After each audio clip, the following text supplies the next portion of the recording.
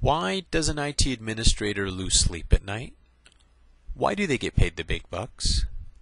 Why are there even IT administrators? They're there to prevent, fix, and keep the servers running. What is the weak link in the server? It's the hard disk drive. If you have moving parts, you have wear and tear. No moving parts, less wear and tear, longer life, better efficiency. A hard disk drive is based on moving parts, so it's inevitable that it's going to break down. So what if you could have a diskless server? And what if you virtually eliminated any server downtime, even with a power failure? And what if you needed less IT staff to manage more and more video content? We do it every day. Let's show you how. Let's take a look at a typical camera network server setup. You usually have your cameras connected to the switch, switch to the server.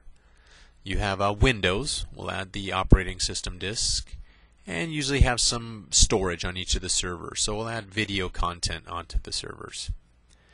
The problem with this typical setup is these servers can't share their disk resources. If two of the servers are at maximum capacity and the third server has lots of available space, there's no way for the other two to use that available space. It's just going to sit there and do nothing. You'll eventually use it in a couple of years. But uh, disks are going to be a lot cheaper in a couple of years. So what do most people do when they need more storage? Add more servers. And add more servers. Let's take a look at a better camera and server setup. Same scenario as before. We'll add a Seahawk IP storage platform and take a look what happens. You separate the storage from the servers and you create a shared storage pool. Shared means you don't have disks sitting around doing nothing. You're utilizing all of your storage resources. You can set this up on an existing network, so there's no special networks needed.